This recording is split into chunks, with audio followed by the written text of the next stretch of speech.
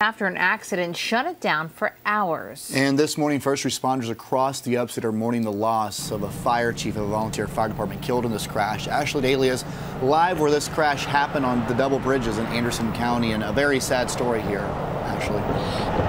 Yeah, Cody, it's always particular. It's always sad when uh, you hear about the loss of life, but particularly today when you hear about a man who's given his life to servicing the community.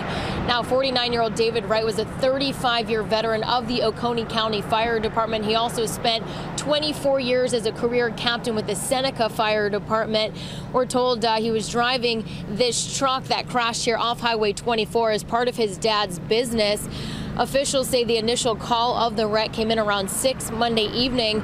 Officials say the truck blew a tire, causing it to drive off the left side of the bridge and plunge into Lake Hartwell.